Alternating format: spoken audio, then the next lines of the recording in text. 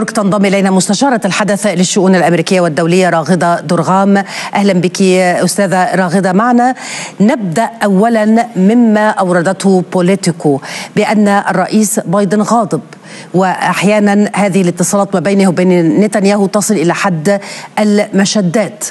اليوم هناك تقارير أخرى تقول بأن واشنطن وتل أبيب اتفقتا على هذه المسألة ما يجري على الأرض كل الأهداف التي يريد تحقيقها نتنياهو في مواجهة إيران وواشنطن تديرها أي من الرأيين تتفقين معه سيدة راغدة أو أي من التقارير تتفق معه؟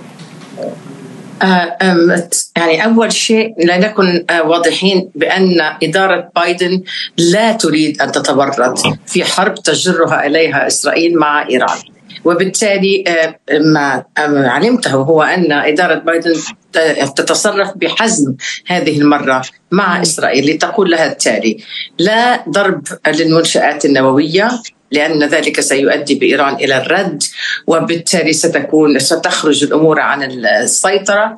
وسندفع جميعنا الثمن والشعب الأمريكي لا يريد أن يتورط في حرب من هذه من هذا النوع أو غيره مع إيران.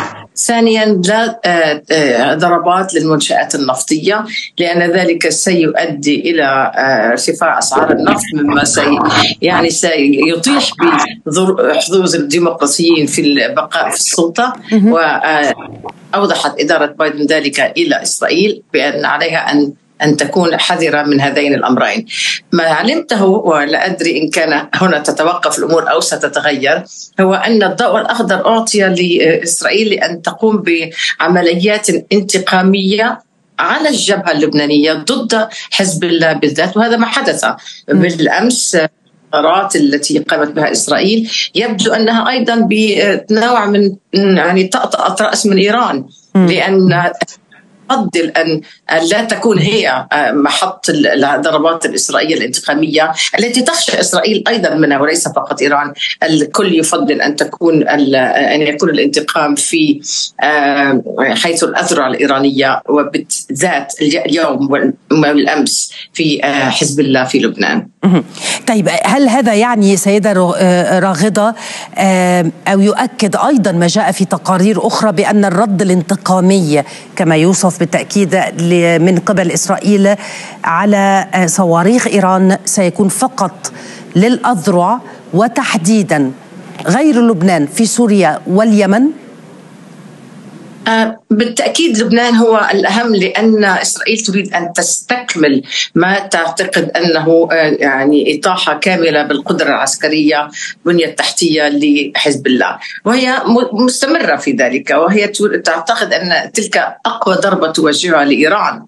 أكثر من سوريا واليمن. ولكن الضوء الأخضر أعطي لإسرائيل لتنتقم في الأذرع كما تفضلت إن كانت في كانت في سوريا أو إيران أو حتى حتى العراق لربما.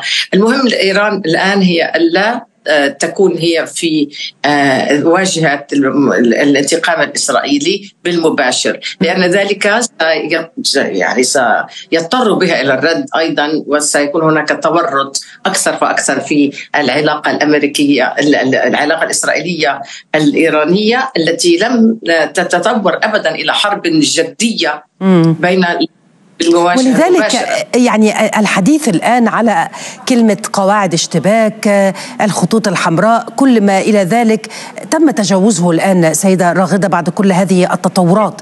وبالتالي اليوم التقديرات في واشنطن وواشنطن التي تريد أن يعني التي ستذهب بالطبع إلى هذه الانتخابات هل سيطول الأمر وإلى أي مدى بحسب التقديرات والى أي حدود في شكل هذا الصراع الاسرائيلي الإيرانية؟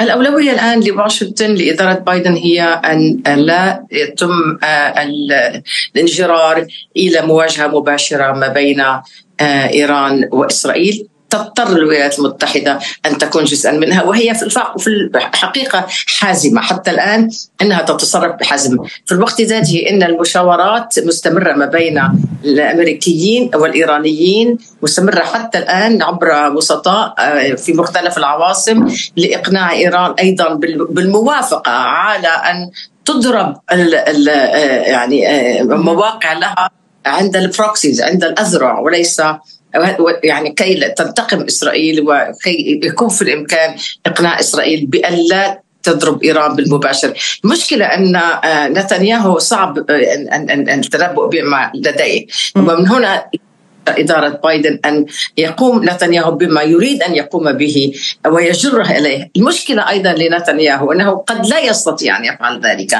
لماذا؟ لأنه يعني لن في حالة أي تصعيد سيدة راغدة يعني بالتأكيد آه، هناك دعم أمريكي دائم لإسرائيل. وهنا يجب الفصل كما دائما يردد كثيرون ما بين الدعم الاسرائيلي والدعم لنتنياهو. نتنياهو لا يستطيع الذهاب إلى ما هو بعيد فيما يتعلق بإيران لأنه يحتاج هذا الدعم الأمريكي.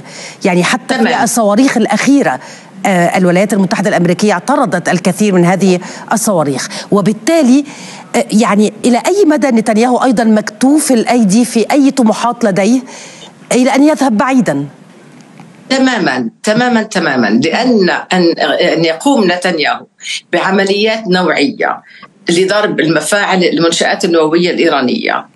أو لضرب المنشات النفطية الإيرانية سيضطر لأن آه، لطلب المساعدة والتغطية المباشرة من من الولايات المتحدة العسكرية. يعني لا لا يستطيع لا تستطيع إسرائيل أن تقوم بمفردها بمثل هذه العمليات. وهذه يعني والمهم الآن أن أن آه، إدارة بايدن تقول لا لن نفعل. لن نمدكم بتلك القدرات. صحيح نساندكم عسكريا إذا إذا قامت إيران بشن حرب عليكم ولكن هذا لا يتطلب الآن في هذه المرحلة أن ترد أن يكون الرد الإسرائيلي بضرب المنشآت النفطية أو أو النووية. ولذلك هناك شيء جديد يحدث وراء الكواليس وهو عزم اصرار امريكي على إبلاغ إسرائيل هي الإسرائيلية.